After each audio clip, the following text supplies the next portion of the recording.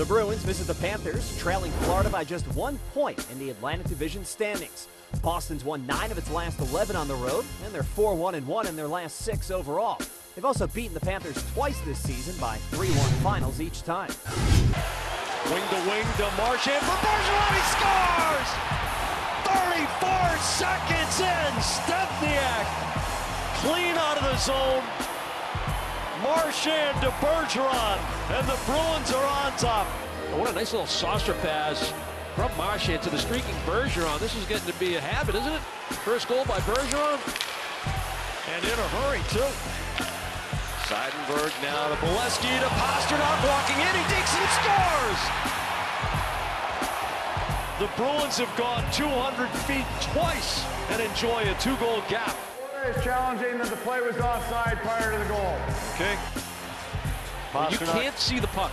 Can you see the puck there, Jack? No, and you can't see his skate either, whether it's on on the ice in contact with the ice or not. Now, and, and this invites the you know inconclusive aspect of it. Upon review of the play, the ice, the call on the ice will stand. It was not offside. Florida forfeits their timeout. There's Huberdeau as the puck got caught and Trotman skates. Rask kicks it out and Barkov hammers it in. Washington challenged the play on the ice that there was a good goal for goaltender interference. But the rule of thumb is if the goalie is able to reset after the interfering contact, that the goal's going to count. But it, it was clear that Rask is still trying to move and does not have complete freedom of movement. After video replay, we have a good goal.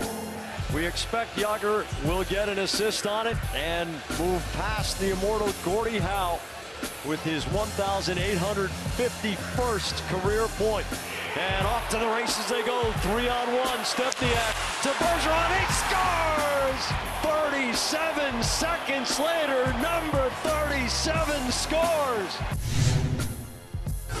Jiri Hudler over the line. Here's Huberdeau. High slot. Swivels it to Hudler. He scores!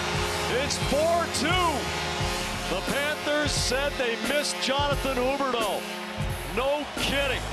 Two assists, one each on the goals for Florida tonight. And a nice seam diagonal pass to Hudler. He's not going to miss on a one-time. Trocheck quickly onto the puck. Centering pass scores. Jokinen. He was able to make that quick pass short side without having a circle behind the net. And Jokinen was open. From that range, you don't need much time. It's a quick one-time on the forehand. A one-goal game. Wheels it right past the glove side post. The long drive loose, and a goal from Hudler. It's tied with 4.43 to go. This is a strong comeback, erasing two three-goal leads for Boston. They get a good bounce, and the Bruins can't track the puck, and they get inside position. Pretty simple. Shot from the point, net front presence, track the puck, get inside, second chance opportunities. Lau was there, but it was Hudler's stick that finds it, and he's able to bury it, tie the hockey game.